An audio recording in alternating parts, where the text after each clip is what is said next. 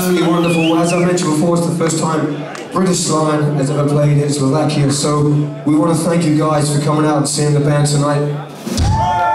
Thank you. Now, I don't know, I'm not sure. I don't know if anybody here has our debut album we released in 2012, but uh, that's good. So tonight we're going to play um, most of the songs on that record but also we're going to play some other stuff as well. Now this next song is, is not recorded anywhere, but from the powers that be, uh, people seem to know this song, and uh, we're going to do this one for you. This is Spitfire.